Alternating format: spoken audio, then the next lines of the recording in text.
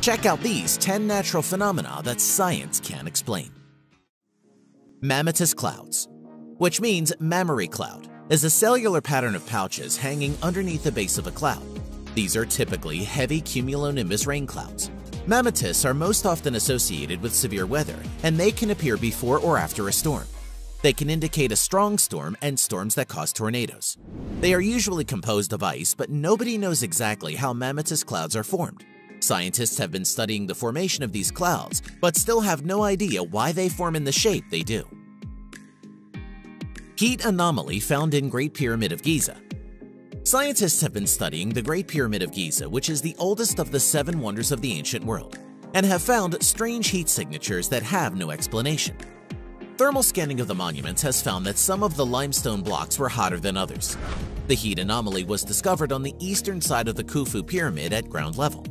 However, no explanation is provided for the heat anomalies, which could possibly imply the presence of a hidden chamber inside Khufu's pyramid. Only time will tell what is causing this, that is, if someone dares enter the chamber.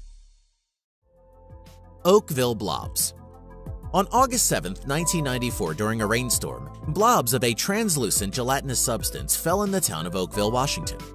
Several attempts were made to identify the blobs. Then, doctors found something startling. The blobs contained human white blood cells. Several theories cropped up at the time to explain the appearance of the blobs, though none have been proven.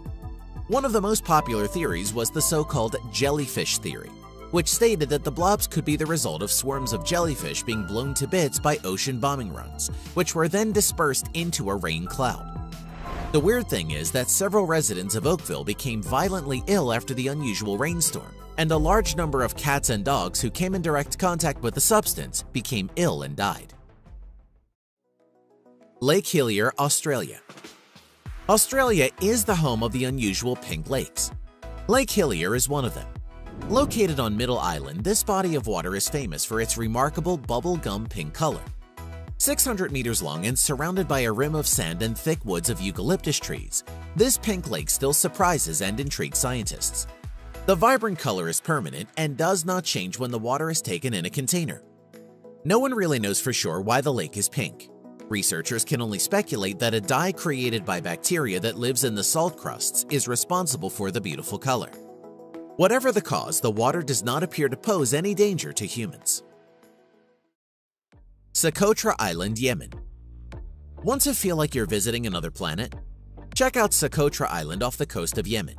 It has been called the most alien-looking place on Earth and a lost world because the heat and drought conditions of the island have produced around 800 rare species of flora and fauna, and a third of those can't be seen anywhere else on the planet.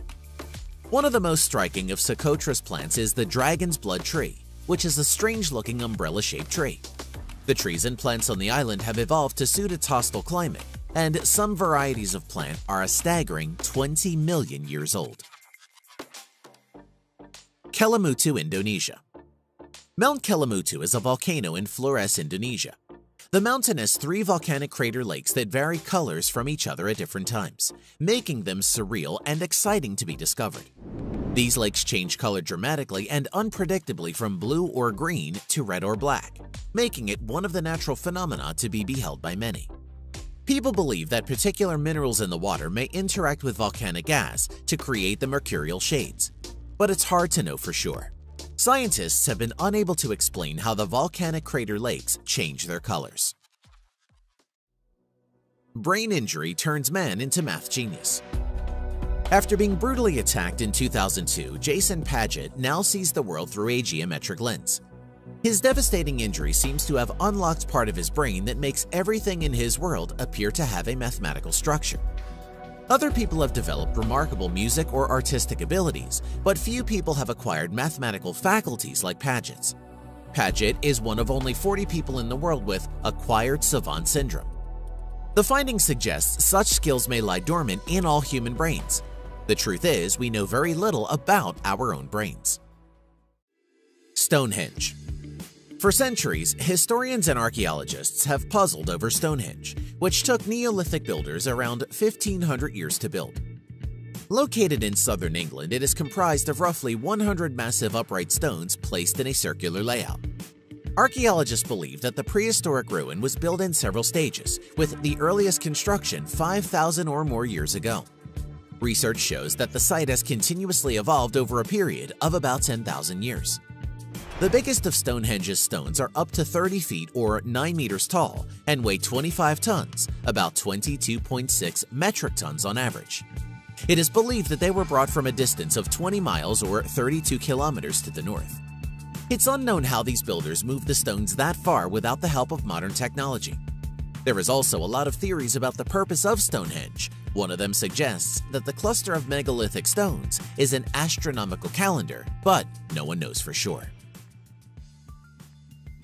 Animal Rain Phenomenon The origins of this bizarre animal rain phenomenon have evolved throughout history. The first reported phenomenon occurred in the 1st century AD when Roman naturalist Pliny the Elder documented fish and frogs raining from the sky.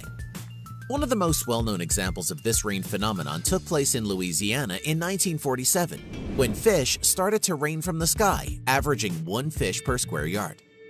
This frightening rain phenomenon also has extended to even more alarming creatures raining from the sky, such as worms and snakes.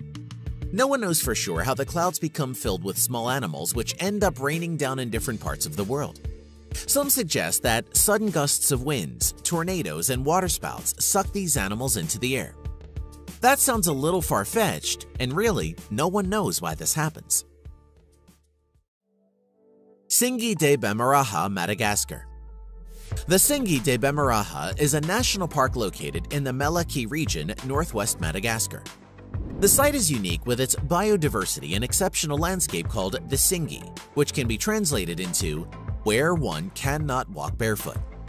It's a strange name, but the reason it's called this is because the Tsingy appear as crevasses and surfaces of limestone blocks carved in blades or sharp needles. These limestone rocks formed by a deposit of fossils and shells under the sea 200 million years ago, and it's thought that rain or groundwater cut the sharp rocks into their shape. But no one knows for sure, as there is no other place like this on Earth.